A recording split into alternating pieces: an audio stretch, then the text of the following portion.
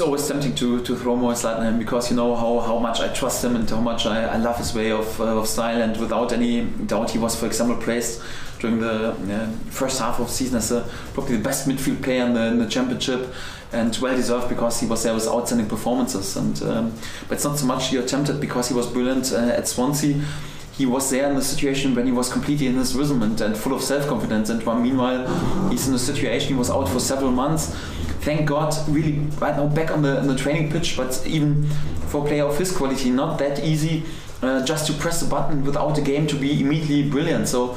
Um, it's a it's a yeah really different uh, different situation. Even a player uh, with his experience and his quality needs a few games to be there at his uh, at his best. And um, yeah, uh, to be honest, I'm always tempted to bring a player like Moritz or Mario or Tim or Alex back into the um, starting eleven because um, I like them. And uh, but it's uh, before each of the game the same, so it's more like.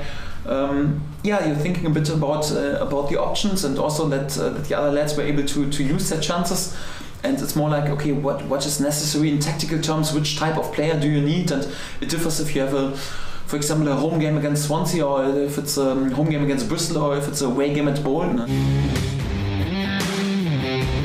it's a great honor and and uh, really grateful and thankful because it's it's not like uh, someone is speaking about this but um, really experts and, and high class coaches. And uh, for that yeah we are happy when we uh, as a club or individual are praised by um, so highly rated coaches. And, and when we speak about Neil Harris or Phil Parkinson, unbelievable experienced guys and Graham Potter, like I said, I'm full of respect of his work and I like a lot what he's doing and I like a lot uh, how his team is, is playing. And in a really difficult first first year, I think he's doing a fantastic job uh, as well, and um, I just can praise him.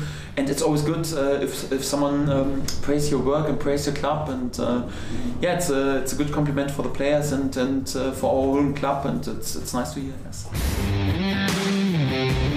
Yeah, it was brilliant. So uh, first of all, uh, a Norwich legend, and I think what he what he did, the, especially in the promotion, he was, I think, uh, more or less the only guy who were able to win the title um, on this uh, on this level, and with 94 points. And I know how huge this this workload is um, on on this level, and for that I just can praise him and um, full of respect. And he is such a down to earth guy and so modest and, and was so supporting was uh, really a gentleman and, and really nice to, to speak with him. And for me you know this is unbelievable support um, important because we are tempted to, to live always in, in, in nowadays and this is also important. It's more like yeah, we're playing in a bit different philosophy and try to bring a new philosophy in terms of recruitment, in terms of playing, and and um, to, to this club and, and I think this is quite important. At the moment we are unbelievably successful and we are praised for this and um, that's also totally, totally fair that we are praised for this for this moment but it's also so important that we pay so much attention also what we did in history and and uh, to um, all our traditional success and are not too carried away. They are not. There's not only this time when we are successful, but this club is even bigger than each uh, and any individual. So